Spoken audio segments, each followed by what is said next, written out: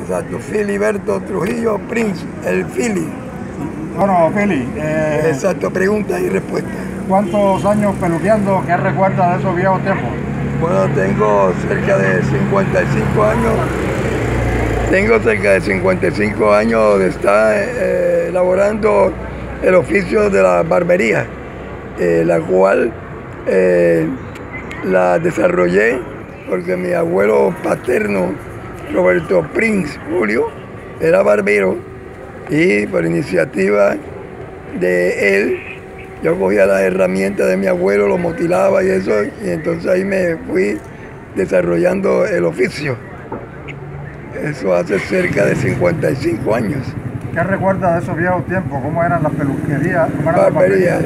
Las barberías eran de tipo añejo, su contenido era hermosísimo y se desarrollaba en ellas un ambiente eh, de tipo muy señorial y caballeresco. Eh, la gente era muy amable, muy cariñosa y por la cual nosotros, los barberos, que no tuvimos academia donde ir a aprender el oficio, pues empíricamente lo aprendimos con mucho entusiasmo, porque la misma gente o clientela eh, a la cual hacíamos los servicios, ella nos estimulaba para uno llegar a ser un buen profesional en el, en el oficio. ¿En dónde empezó? ¿Dónde quedaba la peluquería? Eh, empecé allá en la plaza de la aduana, eh, la barbería Suárez. Este señor era hijo del doctor eh, Suárez, que estaba instalado su, su clínica aquí en, en el centro de la ciudad. Y fue una de las barberías de mayor clase social, porque ahí se eh, llegaba toda la gente de la aristocracia de aquí de Cartagena, el doctor eh, Eduardo Lemaitre, Daniel Lemaitre y muchos personajes de esos, de mucha cultura, eran los que llenaban eh, la barbería. Esto quedaba en el edificio Andian. Eso quedaba así en, los bajos del edificio Andian, al lado del Banco del Comercio, que también estaba ahí. Bueno, ¿cuánto costaba una peluqueada, una mutilada en ese entonces? Exacto. ¿Y qué personajes de esa época recuerdas?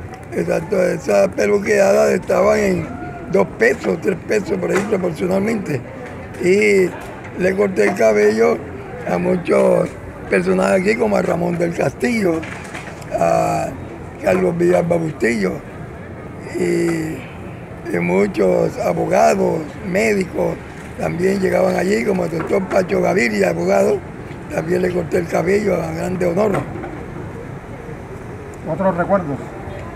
Bueno, sí, eh, muchas anécdotas a veces eh, con respecto a ciertas situaciones que se presentaban, como por ejemplo una vez Carlos Villalba Bustillo eh, me dijo, eh, Piri, motílame. Yo, pero, ay, ¿cómo quiere que lo motile? Me dijo, me hace el favor y me motila, pero callado. y en otra ocasión estaban dos clientes que eran médicos, estaban discutiendo dentro de la barbería y ahí estaba, estuvo el famoso Gabriel Calvo, ¿recuerda? El flaco Gabriel Calvo, Campo Paso. el Calvo Paso, Gabriel Calvo Paso, y vio discutiendo a los dos médicos y les dijo, me hacen el favor y no peleen y no discutan, sino recétense. Oye, todo esto sucedió. ¿ah? Más anécdotas. Otros personajes, Arturo el Loco, Pelleye, Eh, no. En ese momento estaban Pelleye y Arturo el Loco en todo su apogeo también. Y trabajó con nosotros un señor eh, Mono Cordero, que era travieso. Y el, el Mono Cordero.